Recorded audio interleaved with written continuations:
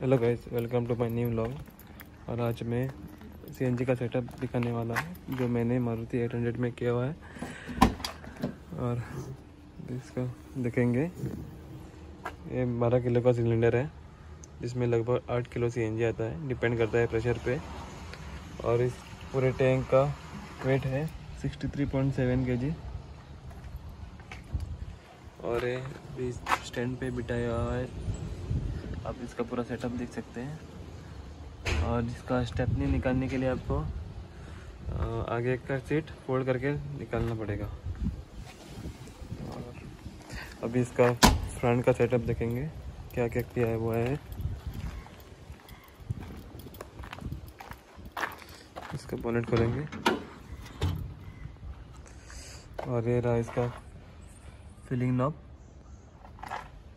और ये रहा इसका प्रेशर गेज और ये पूरा सेंसर है, हम देख सकते हैं।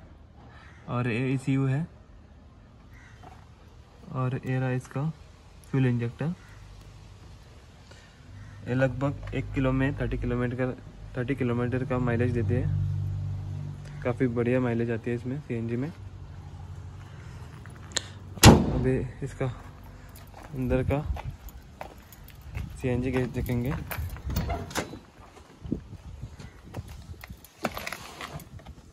इधर आप देख सकते हैं इसका।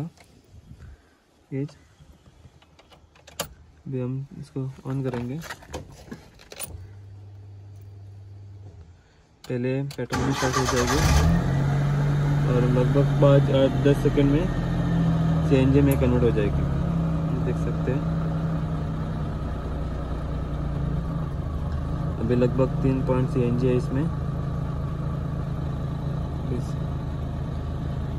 ज़्यादा कुछ डिफरेंट नहीं आता है। खाली हल्का सा लैग आता है, जब आप एसी चलाते हैं तभी, वरना कोई लैग सबको मैसेज नहीं होगा।